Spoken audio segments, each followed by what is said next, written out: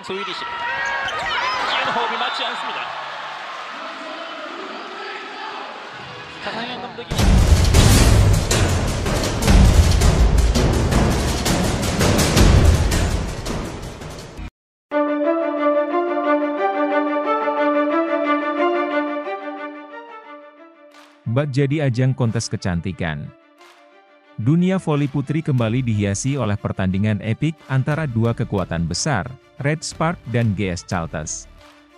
Namun, yang membuat pertandingan ini semakin menarik adalah duel kecantikan antara dua bidadari lapangan, Park Hye-min dari Red Spark dan Kang Sophie dari GS Chalters. Pertandingan ini menjadi sorotan utama karena bukan hanya menguji kemampuan kedua tim, tetapi juga menampilkan pesona dan kegerasian dua bidadari voli yang menjadi daya tarik tersendiri bagi para penggemar. Park Hye-min, dengan pesona yang memikat, berhadapan dengan Kang Sophie yang juga terkenal dengan kecantikan dan kepiawaian di lapangan. Meskipun pesona keduanya menjadi perbincangan, pertandingan ini lebih dari sekadar duel kecantikan.